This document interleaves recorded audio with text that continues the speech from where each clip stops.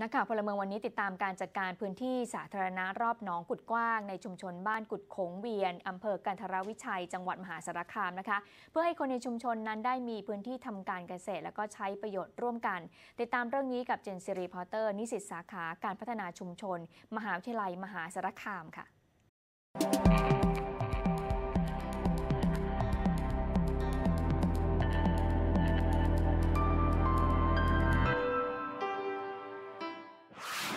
พื้นที่กว่า 110 ไร่ ของหนองกุดกว้าง ตั้งอยู่ตำบลขามเรียงอำเภอกันทรวิชัย จังหวัดมหาสารคาม ซึ่งอยู่ติดกับบริเวณ 3 หมู่บ้าน ได้แก่บ้านโขงกุดเวียนหมู่ 14 บ้านห้วยชันหมู่ 6 บ้านมะกอกหมู่ 5 และหมู่ 23 เป็นพื้นที่สาธารณะที่ชาวบ้านกว่า 500 คนได้ใช้ประโยชน์ในการดำรงชีพร่วมกันตั้งแต่อดีตจนถึงปัจจุบัน พื้นที่ตรงนี้ก็มีราษฎร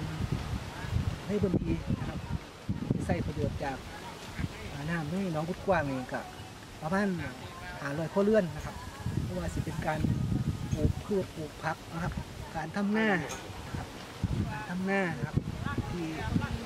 ราษฎรที่นี่ที่หน้าติดกับน้องกุดกว้างอย่างนึงก็คือใส่ประโยชน์จากการได้ใส่น้ำในหนองนะครับ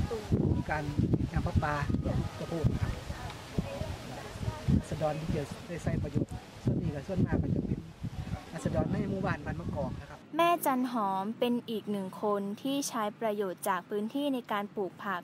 ตั้งแต่รุ่นพ่อแม่จนถึงปัจจุบัน คือตะกี้พอกับแม่เพิ่นมาเฮ็ดเนาะเฮาก็เลยมาพอกับแม่เพิ่นเฒ่าเฮาก็มารับช่วงต่อเพิ่นจังซี่นะ มันหน้าอยู่นี่นํก็เลยมีที่สาธารณะเขาซื้อหน้าแปรก็จับจองเอาจังซี่มาปลูกอยู่ปลูกกินจังซี่นะ เหลือกินก็ขายนิดๆหน่อยๆน้ำบานเฮาบ่ได้เพราะว่าบ่มีกำลังหลายพอได้ปลูกพ่อได้ขายนะปลูกพ่อได้กินคือปลูกทุกอย่างนะนี่เมดบ่ให้มันขาดมันหยังนะทุกอย่างของที่เฮามีใส่ในครัวเรือนเฮานั่นน่ะกินในนั่นเฮานั่นประจำบ้านเฮาสินะสิล่ะปีแม่ก็ปลูกบักพริกบักเขียน้ำละปีนี้มันนั่นบนนั่นคนมันบ่ได้เฮ็ดบักพริก มีแต่เฮ็ดแตงเฮ็ดทั่วจังซี่นะปีนี้ก็ได้ปลูกทั่วกับแตงกับเออข้าวโพดที่ยังกับปลูกแม่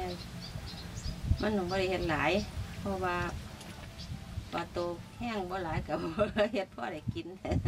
อันเลี้ยกินก็ได้ขายตลาดนอดน้อยเฮานี่ล่ะตลาดนัดน่ะนเนี่ล่ะเพิ่นก็เฮาทำกินตลอดแหละแต่ว่าเพิ่นก็บ่ได้เอาเงินเอาหยังดอกเพิ่นก็มันเป็นของหลวงเนาะ อันมันหน้าเฮาเลยติดกับอันที่เพิ่นนั่นแหละก็เลยก็หน้าก็เฮ็ดจังซี่ล่ะสวนก็มีแต่เฮ็ดลำนี้ล่ะก็บ่ได้เฮ็ดหลายซึ่งพื้นที่สาธารณะดังกล่าว เป็นการจัดการของชุมชน ที่มีข้อตกลงร่วมกันมีเหตุการณ์อย่างที่ว่าเป็นการทะเลาะเบาแหวงในการครอบครองที่นะครับว่าพี่น้องทุกคนเข้าใจดีว่าพื้นที่ตรงนี้มันครอบครองมาตั้งแต่สมัยปู่สมัยยาแล้วนะครับ ในการประกอบอาชีพในการเกษตรเพราะว่ามีปัญหาในการขอบข้องขับ